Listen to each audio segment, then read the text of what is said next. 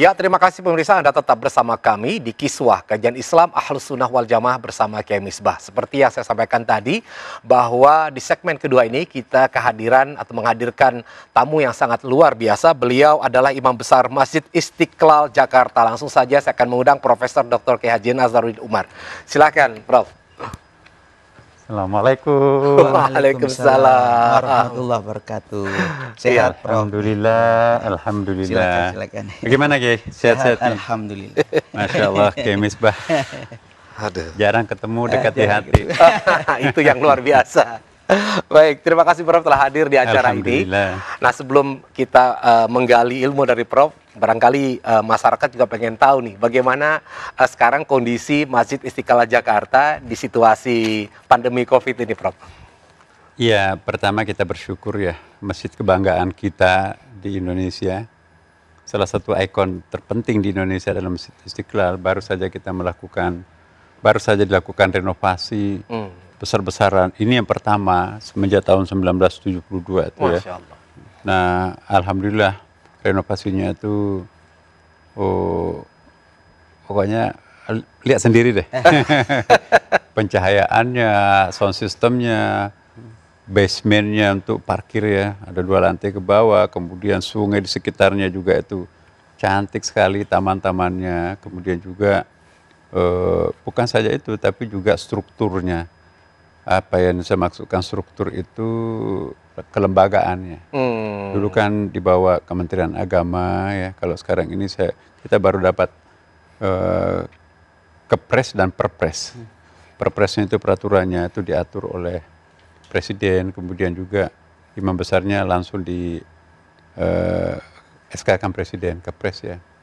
Nah, bukan saja berfungsi sebagai tempat untuk beribadah makta, Ya. tapi Istiqlal itu diupayakan ke depan itu sebagai pusat pemberdayaan masjid. ya. Jadi bagaimana Masjid Istiqlal itu nanti menjadi kiblat peradaban dunia Islam di masa depan. Karena di Timur Tengah kan seperti sulit untuk kita harapkan menjadi imam peradaban di masa depan karena pusat konfliknya ada di sana dan internal setiap negara-negara di situ kan rata-rata punya persoalan. Nah harapan dunia sekarang ini adalah Indonesia karena karena bebas dari konflik regional. Insya Allah kita juga relatif lebih majmuk tetapi homogen gitu ya. Hmm. Nah ini satu rahmat. Mungkin karena kita mayoritas eh, mazhabnya itu Sunni, jadi tidak tidak seperti misalnya Irak, Lebanon, 50-50 Syiah Sunni. Kadang-kadang ada kelas-kelas itu setiap hari, atau mungkin juga ada kepentingan-kepentingan kabilah-kabilah atau etnik-etnik tertentu yang sangat kuat di sana. Misalnya kita lihat di Afghanistan, ya, Ya. tiada hari tanpa perang saudara. Nah, alhamdulillah kita di Indonesia ribuan pulau, kemudian juga etniknya kurang apa, agamanya pun juga berapa banyak. Tapi alhamdulillah kita mampu menyuguhkan kepada dunia bahwa Indonesia itu benar-benar sebagai negara yang berbineka tunggal ika. Nah, kita harus bersyukur kepada founding fathers kita ya, kayak Misbah ya, jadi salah seorang tokoh eh, pencetus ideologi bangsa kita yang sangat kuat itu adalah Ya. kakeknya Gus Dur. Iya, iya, iya. Kiai Haji Wahid, Haji Wahid Hashim, Hashim Asyari. Nah, eh, pembicaraan kita tentang masjid ya. Jadi saya sangat eh, teringat dengan saya membaca sebuah buku, tapi saya kok tertarik pada buku-buku itu buku-buku sejarah. Saya tidak dapatkan dalam buku hadis, tapi di buku-buku sirah, Kiai. Iya, iya. Akhirnya saya kumpulin ya beberapa buku-buku sejarah yang saya baca. Terkumpullah bahwa fungsi masjid Nabi itu ada 24, ada dalam buku saya tuh. Banyak hal yang mengagetkan saya sendiri ya, misalnya bagaimana masjid Nabi itu benar-benar bukan hanya sebagai tempat untuk beribadah mahta, mungkin hanya 10 atau 20 persen. Tapi fungsi masjid Nabi itu, bayangkan, berfungsi sebagai rumah sakit, Hmm. Korban perang itu kan dijahit di rumah sakit. Berfungsi sebagai pengadilan, pidana perdata semua diputuskan di masjid. Ya. Ya, berfungsi sebagai balai pertemuan. Jadi apa pun kegiatan itu dipusatkan di masjid. Yang menarik adalah bukan hanya pertemuan antara sahabat, tapi tokoh lintas agama.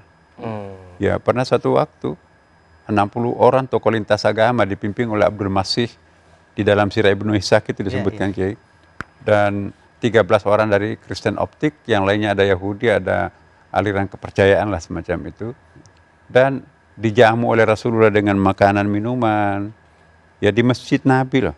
Jadi menjamu tamu-tamu non muslim di masjid itu pernah dicontohkan oleh Rasulullah SAW. Allah.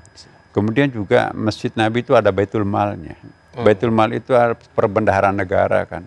Pemasukan infak, sedekah jariah, eh, wakaf, jizyah, eh, kemudian juga humus, usher, lukatah, eh, eh, apa namanya, fai, itu ada 27 pundi-pundi umat pada waktu Nabi itu, itu dikumpulkan di masjid. Direkturnya adalah Abi Hurairah. Abi Hurairah itu profesional, bukan hanya ahli apa meriwayatkan banyak hadis, tapi ternyata juga punya pemikiran sistematis, maka itu dipercaya oleh Rasul untuk memimpin Baitul Mal itu. Dan masjid juga berfungsi sebagai tempat pertunjukan kesenian. Itu dalam hadis Bukhari Muslim, secara periodik Nabi itu mengundang seniman-seniman dari Habasyah untuk mempertunjukkan kebolehannya dalam bidang seni. Ya, jadi Nabi itu sangat mencintai seni sama dengan istrinya Aisyah itu kan. Jadi ini jangan kita mempertentangkan antara seni dengan uh, Islam ya. Tentu saja seni yang mendekatkan diri kepada Allah kan ada juga seni mendekatkan ke iblis kan. nah, jadi suatu saat itu Aisyah mengundang biduan, artis dua perempuan waktu itu. Kulit hitam. Oh, datang Abu Bakar. Eh, kenapa kok melakukan pertunjukan Nah, ya, di masjid? Biarkan dia kan ini adalah hari raya Id. Tahun berikutnya Umar lagi yang menegur keluar Nabi dari kamarnya, nggak apa-apa, biarkan ini kan juga hari raya Id. Nah, jadi ternyata Rasulullah SAW itu itu punya apa ya, punya kelompok seni gitu ya. Hmm. Kelompok seninya yang dipimpin atau yang dimiliki Rasulullah itu digunakan untuk mengantar pasukan perang itu pergi berperang. Kalau pasukannya menang dijemput dengan eh, apa ya kelompok merawis itulah kalau mau saya istilahkan Ya. seperti sekarang. Kemudian juga kalau ada kafilah datang dari luar negeri kan itu kan rahmat ya. Ya. Kemudian kafilah diantar ke luar negeri itu diantar dengan merawis. Ada orang yang akikah, ada orang eh, apa melakukan hajatan-hajatan itu dimainkan dan itu dilakukan di masjid. Ini sangat langka ini kita. Saya kok apa iya? Nah, yang paling menarik lagi bahwa masjid Nabi itu juga berfungsi sebagai latihan bela diri. Hmm. Besok akan jadi be- besok akan turun ke medan perang, berjuang kan hampir setiap hari ada perang pada waktu itu kan. Latihan perang-perangannya itu di masjid. Nah bayangkan kalau kita di masjid itu ada latihan karate. Wah ini kurang ajar kok masa di masjid. Padahal Nabi mencontohkan. Latihan perangnya itu adalah justru di masjid. Latihan bela dirinya kan. Menara masjid yang tinggi-tinggi itu bukan hanya digunakan Bilal untuk azan. Tapi juga untuk melihat dari ketinggian rumah mana yang tidak pernah berasap dapurnya. Hmm. Rumah-rumah mana yang selalu berasap dapurnya. Turun sahabat. Iya, iya, iya. Kenapa nggak pernah berasap dapurnya udah tiga hari ya? Lagi apes nggak ada yang bisa dimasak. Ke sebelah, kenapa kok nggak pernah berhenti mengepul asapnya? Alhamdulillah kafilah saya baru pulang dari luar negeri.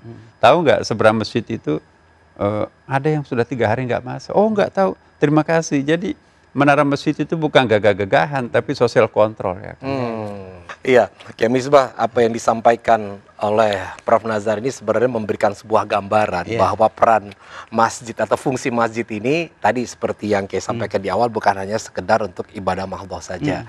Nah, barangkali bisa dikerucutkan eh, Kiai kira- kalau kalau dilihat tadi itu kan banyak fungsinya. Iya. Nah, menurut Kiai juga apa sih sebenarnya sekarang yang harus dimiliki minimal oleh setiap masjid dan dilakukan oleh pengurus masjid sehingga masjid itu terkategori ya dari itu masjid itu dimakmurkan dan juga mendukung terhadap peradaban dunia. Baik. Jadi apa yang disampaikan oleh Kiai Nazaruddin. Kalau Mas Agus panggilnya Kiai Prof. Kalau saya tetap memanggil Kiai ya. Kiai Nazar iki apa ini telah mencontohkan kepada kita bagaimana seharusnya mengelola masjid yang baik. Hmm, Apalagi Masjid Istiqlal sebagai pusat peradaban Indonesia. ya. Dan saya ingin menyederhanakan sederhananya bahwa jangan sampai umat Islam berpikir bahwa masjid itu hanya sebagai tempat ibadah gitu. Ya. Kalau di kampung-kampung kan hanya ibadah, Ya. selesai selesai. Ya. Padahal tadi disampaikan sampai 24 item ya. Betul. Kalau mau disederhanakan bukan hanya ibadah tetapi juga kegiatan dakwah. Hmm, pusat pengajaran, pusat pengetahuan, pusat kegiatan sosial, bahkan tadi disampaikan rumah sakit juga di sana. Ya. Jadi juga bagaimana membentengi umat Islam secara fisik juga di sana. Ini luar biasa. Karena itu apa yang disampaikan tadi bahwa masjid sebagai pusat peradaban Islam Ya. ini harus kita mulai dari mana? Dari hal yang sederhana. Dari doa yang pernah kita sampaikan tadi itu. Ya. Allahumma inna nas'aluka salamatan fid din. Nah, itu teruskan itu. Dan bisa teraplikasi di dalam program-program masjid. Apalagi Pak Kiai Nazaruddin ini sudah mencontohkan di Masjid Istiqlal. Ya. Jadi demikian Mas. Ya, Prof, ini sedikit Prof, kalau menyambung. eh, kan dulu ada yang namanya Festival Istiqlal. Nah, karena kan biar gimana pun eh, orang pengen tahu itu perlu kita menyonding, membuat program atau mempublish. Nah, apakah nanti ini ke depan setelah COVID barangkali ya, Istiqlal juga punya rencana untuk kembali barangkali mengadakan kegiatan serupa dengan Festival Istiqlal, Prof. Ya, panitianya sudah terbentuk, tapi tiba-tiba ada COVID ya. Alhamdulillah. Jadi Bapak Presiden pernah merestui untuk kita melakukan Festival Istiqlal yang ketiga ya. Hmm. Nah, apa isinya Festival Istiqlal itu sebetulnya adalah festival peradaban. Ada International Festi- Festival for Mystical Music ya. Jadi musik-musik spiritual itu ditampilkan di di arena itu ya. Dan itu bukan hanya untuk menampilkan penampilan penampilan musik spiritual Islam, tapi non Muslim juga. Misalnya kita akan mengundang teman-teman kita dari Katolik, Protestan, eh, Hindu, Buddha, mungkin Konghucu, kesenian-kesenian spiritualnya itu, itu kita pertontonkan di arena itu bahwa ini loh musik-musik yang menentu, menyentuh rasa itu kan. Ya. Karena musik-musik spiritual itu kan universal. Nah maka itu di dalam Ihya Ulumuddin Imam Al Ghazali itu ada bab tentang eh, bab tentang seni. Orang yang tidak memiliki seni dia khawatirkan hatinya gersang. Ya. Karena seni itu penting untuk menghaluskan budi pekerti, menghaluskan pandangan, perasaan dan seterusnya. Maka itu Rasulullah itu ya sangat eh, ya katakanlah mencintai seni. Seni olahraga, kemudian juga seni eh, penampilan seni Rasulullah itu maka itu tampil selalu menarik yang seni berdakwahnya juga. Nah kembali kita ke Istiqlal. Istiqlal ini kayak sekarang kita alhamdulillah eh, insya Allah diobsesikan akan menjadi eh, kan ada perkumpulan masjid ibu kota seluruh dunia ya. Ya. Masjid masjid ibu kota kita rangkum dalam satu organisasi tersendiri. Istiqlal kita diminta untuk leadersnya. Ada juga perkumpulan imam-imam besar pada masjid setiap negara. Nah kita juga diminta di Istiqlal untuk menjadi hostnya ya. Jadi imam besar masjid Istiqlal nanti akan memfasilitasi mewadahi organisasi ini. Di samping itu juga apa yang ada di Istiqlal sekarang, ya kita ada pendidikan kader ulama Kiai. Iya, iya. Ya, pendidikan kader ulama ini setara S2 kerjasama dengan PTQ dan inilah nanti yang akan eh, tanda kutip memproduksi ulama-ulama yang beneran ya. Karena eh, mohon maaf ya perguruan tinggi sekarang ini kan memang sebetulnya tidak dirancang untuk melahirkan ulama. Untuk menje- mel- melahirkan sarjana nanti akan menjadi pegawai bekerja di sektor formal. Nah apa yang kita bikin di istiqlal ini diajar oleh tokoh-tokoh ulama-ulama asuh kita. Kalau di, di istiqlal sekarang diketuai oleh Pak Quraish Shihab dan Pak Agil dan alhamdulillah ulama-ulama sepuh-sepuh kita kayak Iya. banyak situ yang akan jadi tenaga pengajar sekaligus.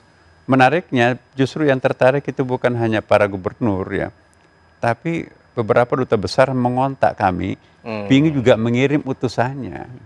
Ya, saya sampaikan loh, kok kenapa? Misalnya eh, dulu pernah kita ada MOU dengan Inggris ya kan, jauh-jauh kok untuk mencari atau melatih imamnya di Indonesia. Padahal kan ada di Mesir, ada Timur Tengah di situ kan dekat. Apa kata perdana menterinya pada waktu itu? Saya juga hadir. Wah, kami lebih kompatibel dengan moderasi umat Islam di Indonesia. Jadi Ya. kami lebih aman kalau imam kami itu di training di Indonesia. Iya, maaf Prof, ini sebentar kita break dulu sejenak. Oke. Baik, luar biasa ada cerita Prof Nazaruddin Umar ini memberikan eh, pengetahuan, pemahaman dan inspirasi bahwa Indonesia ini sangat luar biasa di mata dunia. Ya, masih istiqlal ini sangat diperhitungkan. Nah, seperti apa nanti nanti akan kita eh, sambung kembali. Namun saya ingin mengingatkan diri eh, saya sendiri dan kita semua untuk sama-sama dalam kondisi uh, pandemi ini untuk bersama-sama kita menyampaikan bantuan ya uh, ke nomor rekening yang tertera ini kemudian nanti akan disalurkan kepada anak uh, yatim dan duafa yang terdampak COVID-19. Baik, pemirsa sekalian tetap bersama kami di Kiswah Kajian Islam Halus Sunnah Wal Jamaah bersama Kiai Misbah.